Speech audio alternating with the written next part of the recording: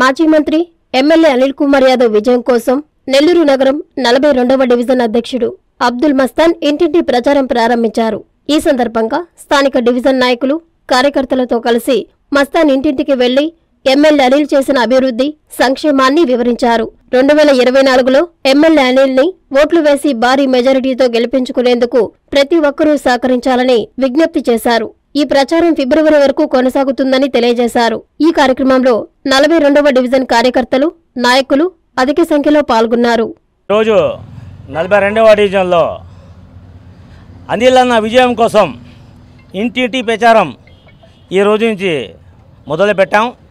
అల్హమ్దులిల్లా రెండు వేల ఇరవై నాలుగులో ఖచ్చితంగా మన అనిల్ కుమార్ యాదవ్ గారు ఎమ్మెల్యే అవ్వడం ఖాయం. అదేవిధంగా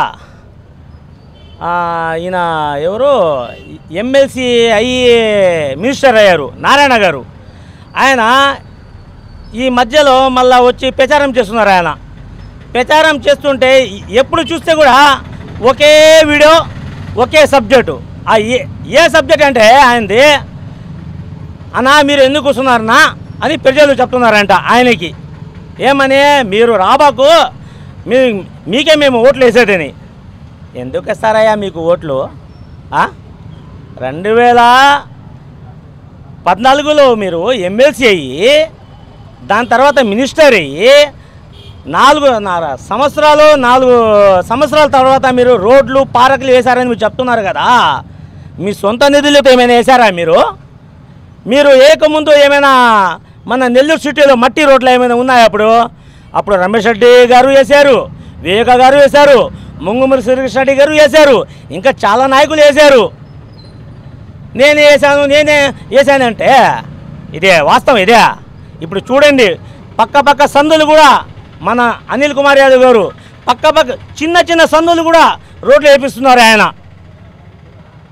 ఆయనకి మీకు పోలిస్తే ఏమైనా న్యాయం ఇదే? న్యాయం కాదు కదా. ఇప్పుడు వార్డులో మేము ఇంటింటి ప్రచారం చేస్తుంటే ఒకే మాట చెప్తున్నారు. అయ్యా తెలుగుదేశం ప్రభుత్వంలో మనం పింఛన్ ఎలా తీసుకున్నారంటే ఎక్కడైనా గవర్నమెంట్ షాది మంజలైనా ఉస్కులేనా ఎక్కడ ఉంటే అక్కడ వెళ్ళి అది కూడా ఉదయం ఐదు గంటలకి వెళ్ళి ఆడ పుస్తకాలు పెడితే దాంట్లో కూడా మళ్ళీ పోటీలు. నాది కిందది వేరే వాళ్ళది పైనది అట్లాంటివి.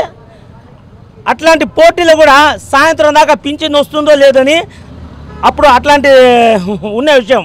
ఇప్పుడు చూస్తే జగన్మోహన్ రెడ్డి గారు వాలంటరీ చేత ఇంటి ఇంటికి వచ్చి పింఛన్ ఇస్తున్నారు. అట్లాంటి పార్టీలు అట్లాంటి పార్టీ మాకు అవసరం కదా బాబు అని అంటుంటే ఉన్న విషయం వాళ్ళు చెప్తున్నారు. ఖచ్చితంగా రెండు వేల ఇరవై నాలుగులో వైఎస్ఆర్ వైఎస్ఆర్ పార్టీ ఘన విజయం అవుతుంది. నెల్లూరు సిటీలో అనిల్ కుమార్ యాదవ్ గారు ఎమ్మెల్యే అవుతారు. రెండు వేల ఇరవై నాలుగులో ఖచ్చితంగా జగన్మోహన్ రెడ్డి గారు సీఎం అవుతున్నారు. ఇన్షాల్లా. శ్రీ లలితారుద్ర మహాయజ్ఞం అక్టోబర్ పదిహేనో తేదీ నుండి నవంబర్ ఇరవై ఏడో తేదీ వరకు నలభై ఐదు రోజులు లోక కళ్యాణం విశ్వశాంతి ధర్మ సంస్థాపనార్థం సమృద్ధి వర్షం పాడి పంటల కొరకు. పీఠాధిపతులు శ్రీ రాజరాజేశ్వరానంద స్వామి ఆధ్వర్యమున జరుగుతున్నది.